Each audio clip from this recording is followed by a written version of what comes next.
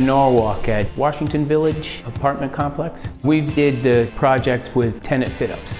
Started from concrete floors to sheetrock and shades going into the rooms. We put the vents in so that they could exhaust the bathrooms, the dryers, and the kitchen fans.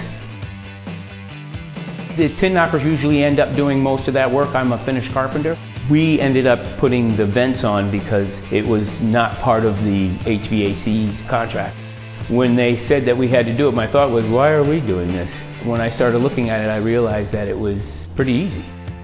We got our cartons in from shipping, brought them up to the roof, we opened them up, took a look at them to see what went where.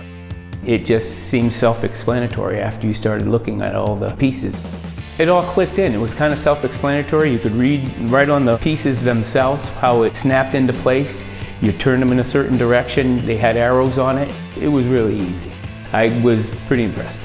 I wouldn't hesitate to give somebody recommendation on this product.